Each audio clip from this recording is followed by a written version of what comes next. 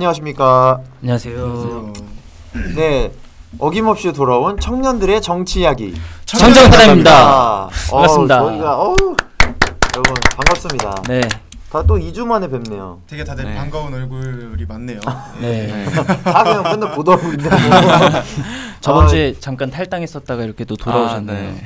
그- 저는 예. 저번 주에 이제 MBC에서 토론 프로그램 촬영이 있어가지고 갔다가 왔는데 아, 역시 근데 때깔이 달라졌어요. 그, 좀 공중파 한번 타더니 아, 얼굴에다 분칠도 하고 아. 아, 확실히 뉴델리가 더 좋은 것 같습니다.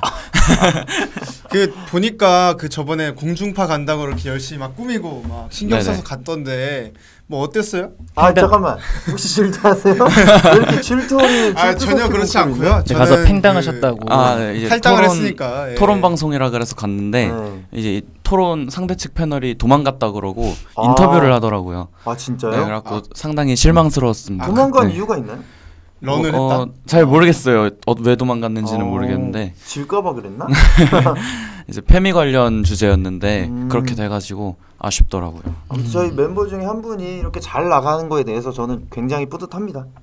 저는 뿌듯- 이제 오히려 공중파 나간다고 해서 기대했는데 아, 그 뉴스에서 몇초 나오길래 아, 그, 그 공중파 아. 뉴스 몇 초 나오기 쉽나? 그래서 저는 이제 배는 덜 아팠습니다. 아. 특집으로 제작됐으면은 아주 배 아플 뻔했는데 저희는 굉장히 솔직한 방송입니다. 굉장히 솔직합니다. 멤버 각각이.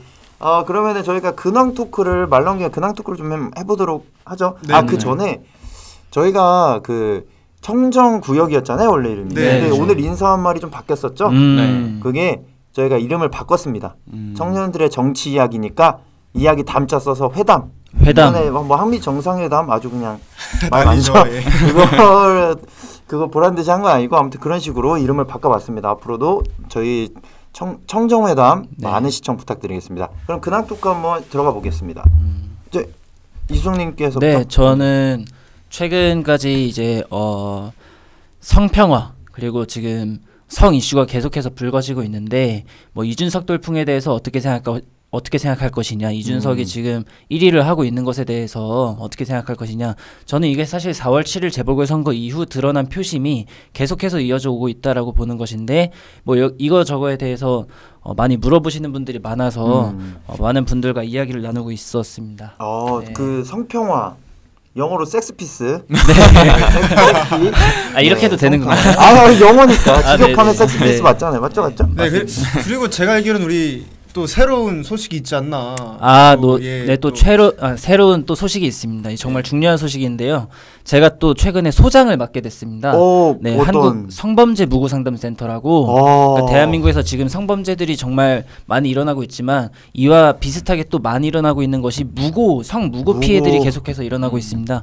이런 것들을 어떻게 보호해 줄 수 있는 기관이 한 군데도 없었는데 어. 한국 성범죄 무고 상담 센터의 소장을 제가 맡게 어, 되었습니다. 그러면 네. 무고 상 담센터라면 상담만 해주는 곳인가요? 아니면 뭐 법적인 뭐 그런 거를 네, 법제인까지 다 자문을 이렇게 해준다거나? 자문 네. 많이 도와주고 어, 네, 그래서 무상으로? 네, 그래서 지금 이때까지 약 21명의 와, 어, 피해자들을 구제하는 어, 이런 업적을 이루고 있습니다. 어, 굉장히 다사다난하고 굉장히 뜻깊고 아주 좋은 네. 근황인 것 같습니다. 이제 이제 우리 공중파, 네. 중파. 네, 저는 이제 뉴데일리에서 잠깐 나와서 MBC MBC 이제 갔다 왔고요. MBC 갔다 오고 또 머리색이 이제 좀어 이뻐요. 이렇게 바뀌었습니다. 음. 탈색도 하고 연예인. 역시 연예인. 탈당자라서 아 그래서 탈색. 예, 어쩐지. 뭐 예.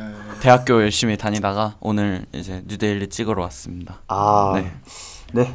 정말 재미도 없고 넌 아주 정말 감동도 없고 아무것도 없는 근황이었습니다. 자 이제 기대 중인데 네. 아, 한번 얼마나 재밌게 하나 우리 핵심? 스트라이커 우리 화랑 씨 네. 얘기해 주시죠. 아 일단 이 핵심 스트라이커를 맡으려면 또 요즘 무슨 드립이 있는지 또 확인을 해야 되니까 아, 열심히 그렇죠, 유튜브도 보고 아 예, 또 유튜브. 이제 맨날 하던 이제 방과 후에 이제 놀이터 가서 애들 가르치는 거는 자료 정리를 할 필요가 있을 것 같아서 애들이 이제 다 같이 막 몰려 들어가지고 아 그 막 계속 해달라고 하는데 제가 단칼에 거절을 하고 예, 뭘 해달라고? 간다. 지금 거의 무지성 무지성 토크인데 그 뭐 생각이 맞죠. 생각을 하고 말, 말을 하는 건가요? 아니면은 아니 부담스러우면 그 괜찮아요. 스트라이커의 부담감을 어 너무 부담스러워하는 네, 것 같아. 좀 저는 그날? 예. 예, 저는 사실 뭐- 부담스러운 건 아니고 제가 원래 조금 무지성으로 토크를 합니다. 아, 일단 그래? 머리카락을 좀 자르는 게 어떠신지. 네. 제가 머리카락도 약간 무지성으로 기르다 보니까 이게 좀 아, 자를 이게 때가 무지성으로 됐죠. 빠지기 예. 전에 바로 잡겠습니다. 어, 우선 저희가 이제 항상 가, 그 뉴스의 주제거리를 하나씩 뭐 가져와서 그거에 네. 대해서 좀 토론을 하고 이렇게 대화를 나누는 그런 컨텐츠였는데 오늘 두 분이서 아무런 조사를 안 해왔어요. 어, 저 해왔어요. 정말 아, 해- 무지성이- 아, 맞죠, 맞죠. 아, 네. 저는 무려 아, 저는 머니 게임 관련해서 한다는 걸 듣고 어. 머니 게임 열심히 이제 아, 시청하셨어요? 네, 보고 전기도 이렇게 열심히 보고 아, 그냥 본인이. 보고 싶어서 본거 보고? 싶어서 본 거 아닌가요? 거의 뭐 무지성으로 네. 봤다고 하던데. 변명을 아, 이런. 식으로. 바로 구독 누르고서 그냥 그 아, 다른 거 안 찾고 전기가 굉장히 아, 재밌더라고요. 그렇죠. 재밌죠. 저도 굉장히. 예, 애청 중에 있습니다. 아 그러면은 다음으로 넘어가서 그 저희가 두 번째 현안을 한번 가져와 봤습니다. 그 뭐였죠? 이성님 한번 소개를 부탁드리겠습니다. 그 조국 전 장관이 최근에 또 염치 없게도 자서전을 냈다.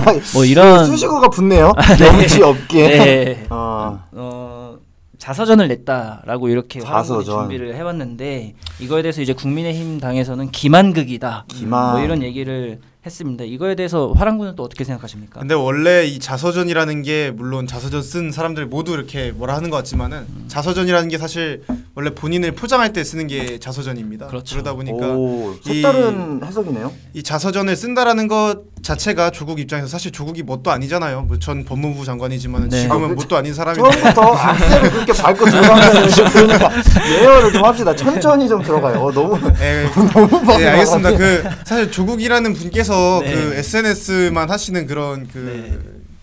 방구석에 있는 네. 교수님이신데 아. 그분이 또 이제 본인 입장에서는 본인이 되게 정의의 사도라고 생각을 하세요. 아. 그러다 보니까 이제 본인을 이제 다른 사람들이 다 욕을 하니까 음. 아 나는 그런 사람이 아니다 이러면서 나 자신을 포장하고 약간 자기. 방어를 했다. 그렇죠. 근데 거네요. 원래 이제 알맹이 없는 사람들이 본인이 직접 본인을 이렇게 포장을 하고 포장하는 근데 거죠. 직접 까보니까 뭐 아무것도 없고 맨날 SNS나 하고 있고 SNS에다 이제 맨날 사진 찍어서 그 케이크 든 사진이나 찍고 뭐 그런 건데 뭐 그런 거 보면은 이분은 뭐 아. 하나도 바뀐 게 없다라는 질소로 꽉 차 있다. 네 뭐라고요? 거의 질소로 꽉 차 있다. 과자. 제가 볼 때는 이 질소도 아니고 그냥 포장지가 좀 판판한 건데 음, 열어 보면 이제 질소도 없는 거죠. 예. 아 아무것도 없다. 아무것도 없는 거죠. 아무것도 없다. 그렇게까지 말 안 하려고 했는데 아 이건 화랑 씨의 의견입니다. 그 갑자기요. 꼬리 자르기. 네, 이거는 어, 예, 화랑 씨의 의견이었습니다. 갑자기요? 네. 저희 그러면은 인호 씨는 네. 어떻게 생각하시나요? 이제 조국이 그 책을 내면서 그거를 촛불 민주 시민들한테 바친다 아이고. 이렇게 말을 했더라고요. 그러니까. 사실상 어, 자기를 따라주는 그 호구들한테 이거 다 그냥 팔고 돈 벌어 먹겠다는 게 아닌가. 조수석에 탔던 사람이 더 세게 맞았어 지금. 왜 그래 둘이 경쟁이에요?